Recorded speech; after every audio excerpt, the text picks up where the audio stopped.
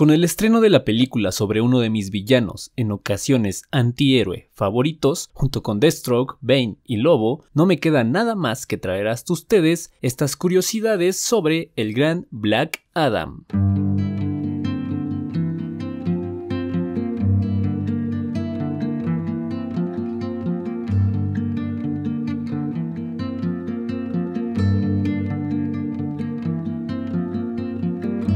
El verdadero nombre de Black Adam es Ted Adam y fue creado por Otto Binder, quien, como lo menciono en mi short sobre cripto, es también el creador del peludo amigo. En cuanto al artista encargado de dibujar a Black Adam, tenemos que se trata de Clarence Charles Beck, además de también haber dibujado al Capitán Trueno, personaje al que pronto le cambiarían el nombre por el de Capitán Marvel, y a quien hoy en día conocemos como Shazam. Pero para seguir hablando de los orígenes del personaje que nos atañe el día de hoy, es necesario que les cuente un poco más acerca de Shazam, ya que este personaje no vio la luz en las huestes de DC Comics, sino que nació en la ya extinta editorial Fawcett Comics. Fue en dicha editorial donde en diciembre de 1945, Black Adam se presentaría por primera vez al mundo en el Marvel Family número 1. Cabe destacar que Black Adam solo apareció una vez en los cómics de Marvel Family, después de eso no volvería a estar en el mundo de las viñetas, sino hasta que DC Comics obtuviera los derechos de el personaje después de que Fawcett Comics se disolviera. Shazam obtiene sus poderes de varios dioses griegos, pero Black Adam, al haber nacido en el antiguo Egipto y ser hijo del faraón Ramsés II, obtiene sus poderes de diferentes dioses egipcios, la resistencia de Shu, dios de la luz, la rapidez de Horus, también conocido como el elevado, el distante, es el dios de la caza y la guerra, la fuerza de Amón, dios de la creación, la sabiduría de Thoth, dios de la sabiduría, la escritura jeroglífica, la ciencia, la magia, las artes, el juicio y los muertos, el poder de Atón, considerado en algunos mitos como el creador supremo, finalmente el coraje de Mehen, diosa protectora de la sagrada barca solar de Ra. Al tener sus habilidades venidas de deidades ajenas al hechicero Shazam, podemos concluir que Black Adam no obtiene sus poderes del mencionado mago. Kandak es la nación ficticia donde nace Ted Adam, y posteriormente, ya como Black Adam, se convertiría en su gobernante, pero el villano Acton destruiría el país, y con él a los hijos y esposa de Black Adam. Fueron estos sucesos, en uno de sus diferentes orígenes, los que hicieron que Black Adam se convirtiera en un verdadero extremista a la hora de impartir justicia. Como ya lo mencioné, Black Adam nace en la editorial Fawcett Comics, pero su segunda aparición, es decir, la primera vez que estaría en las filas de DC Comics, sería 32 años después, en abril de 1977, en el Shazam Volumen 1, número 28, escrito por Edward Nelson Bridwell y dibujado por Kurt Schaffenberger. En dicho cómic se nos narra cómo el Dr. Sivana utiliza una máquina de resurrección para revivir a Black Adam y pelear contra la Marvel Family.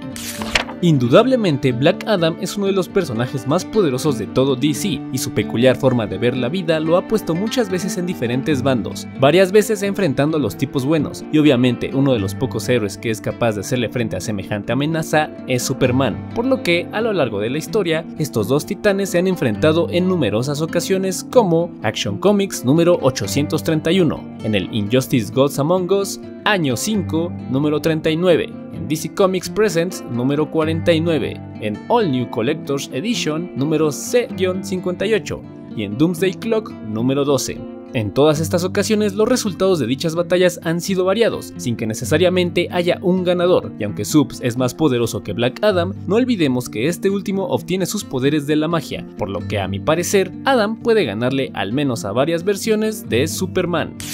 Nuestro ancestral y poderoso personaje ha colaborado con diferentes equipos de supers a lo largo de la historia, entre los que destacan Siniestro Corps, la Liga de la Justicia, la Sociedad de la Justicia Americana, la Marvel Family, la Injustice Society, el Escuadrón Suicida y la Sociedad Secreta de Supervillanos.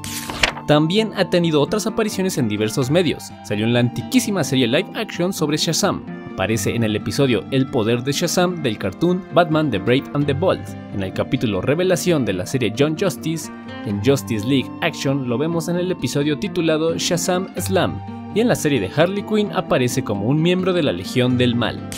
¿Han visto la película dirigida por Don Siegel y protagonizada por uno de los dioses del cine Clint Eastwood, Harry el Sucio? Si no la han visto, no pierdan más su tiempo y háganlo. Es una gran cinta, pero esto va a que Dwayne Johnson y el director de la nueva película Black Adam, John Colette Serra, concuerdan en que la esencia de Adam tiene puntos semejantes a los de Harry el Sucio. Personalmente, espero que la cinta vaya por un camino similar al de la película de Clint Eastwood.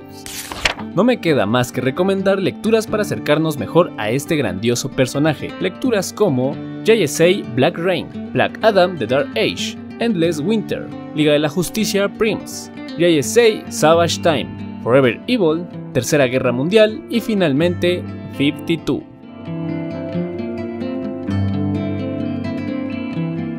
Y bueno, es así como llegamos al final de este video. No olvides que si fue de tu agrado, un poderoso like sería de mucha ayuda, lo mismo que activar la campanita para que YouTube te avise de todos mis trabajos. Recuerda que esto es Comicultura y nos vemos en el próximo video.